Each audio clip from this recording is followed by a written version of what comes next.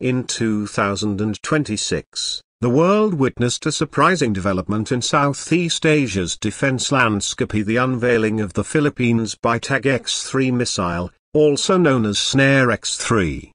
This system marks a bold leap for the nation, a country historically dependent on foreign defense imports, now making strides into advanced missile technology. Welcome to the Reverend Line, where we break down the most intriguing military technologies, global defense advancements, and cutting-edge weapon systems.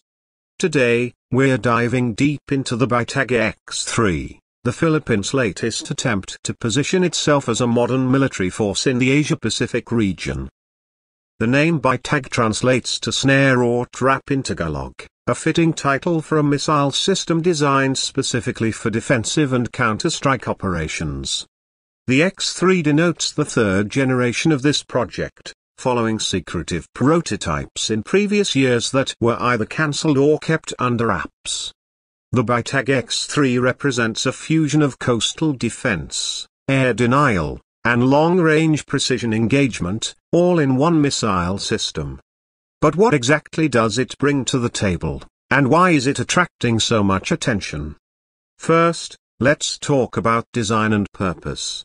The BiTAG X-3 is not just a traditional missile meant for point strikes or symbolic deterrence. This missile is part of a larger defense doctrine known locally as Lambat Depensa, which translates to net defense. The idea is to create a layered defense network along the Philippine archipelago using the BiTAG X-3 to form a trap-like perimeter that can intercept enemy naval or air threats before they even approach Philippine waters. The missile is designed with multi-platform compatibility. It can be launched from land-based mobile trucks, small naval vessels, and fixed coastal installations, giving the armed forces of the Philippines flexible deployment options depending on the threat scenario. In terms of technical specifications, the BiTAG X-3 missile is a medium to long-range system with a reported range of approximately 320 kilometers. This range allows it to cover large portions of the West Philippine Sea, particularly disputed areas where tensions have been rising for years. Its supersonic speed, reaching up to Mach 3.2, gives it both speed and survivability, making interception by enemy defense systems a significant challenge. The propulsion system combines a solid fuel booster for initial launch with a ramjet engine for sustained flight. This hybrid system allows for rapid launch and prolonged cruise capabilities, maintaining high speed throughout its flight path.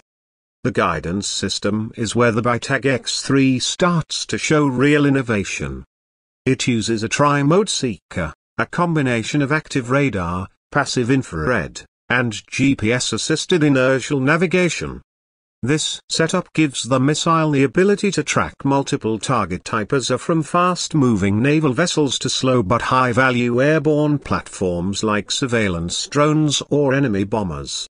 The missile's on-board artificial intelligence, developed with assistance from domestic tech companies and international partnerships, allows it to adjust its trajectory mid-flight, avoiding electronic jamming and countermeasures. This makes the BiTAG X-3 a formidable asset in electronic warfare environments, something the region is seeing more frequently in contested maritime zones. Now let's talk about the warhead. The BiTAG X-3 carries a 300 kg high explosive fragmentation warhead with an intelligent detonation system. Depending on the target profile, the missile can choose between contact detonation, airburst mode for soft targets, or delayed detonation for hardened enemy vessels. This flexibility makes the missile not just a blunt instrument of destruction but a precision tool designed to maximize strategic impact while minimizing unnecessary collateral damage. One of the most unique aspects of the BiTAG X-3 program is how it was developed. Unlike larger defense nations that often spend decades and billions of dollars on single weapons programs, the Philippines approached the development of the BiTAG X-3 with a lean military innovation model.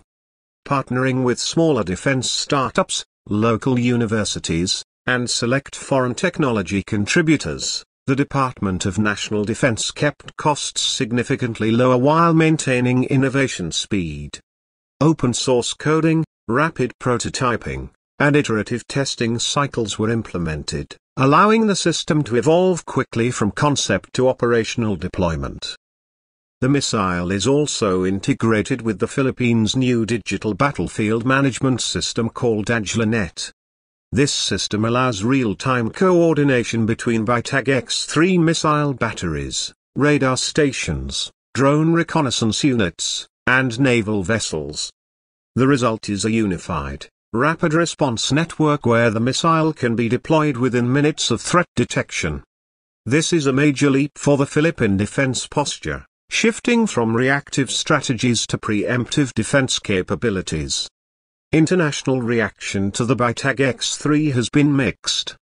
Some neighboring countries see this development as a stabilizing factor in the region, giving the Philippines the ability to defend its territories without immediately calling for foreign military intervention. Others, particularly nations with territorial ambitions in the South China Sea, view the BiTAG X3 as an escalation that could disrupt the balance of power. Either way, the missile has certainly attracted attention from defense analysts around the globe. Critics have pointed out that, while the BiTAG X3 looks impressive on paper, actual battlefield performance remains unproven. Live fire tests have reportedly been successful, but real combat conditions are unpredictable. Maintenance, logistics, and long-term sustainability of such systems are also critical challenges that the Philippines will need to address to ensure the missile remains operational beyond just the initial deployment phase. Another concern is the potential arms race this development could trigger in Southeast Asia. With the Philippines now fielding advanced missile systems, other nations may feel compelled to accelerate their own defense programs. This could lead to a regional missile competition, increasing the risk of miscalculations during already tense standoffs in disputed waters.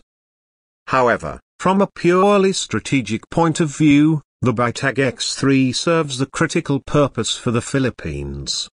It acts as both a deterrent and a tool of national sovereignty, giving the country a voice in regional security dialogues that it previously lacked for a nation that has often been overlooked in discussions about missile technology, the BiTAG X-3 represents not just a weapon, but a symbol of technological progress and national determination.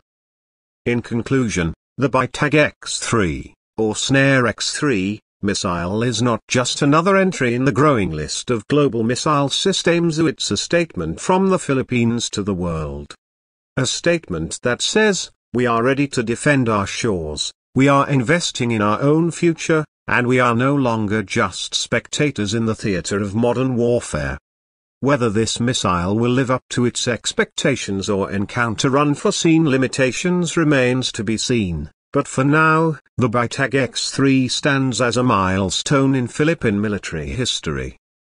This is the Reverend Line, bringing you the sharpest insights on defense technology and global military evolution. If you found this video informative, don't forget to like, subscribe, and ring the notification bell. Stay tuned for more updates on the world's most advanced weapon systems and military breakthroughs.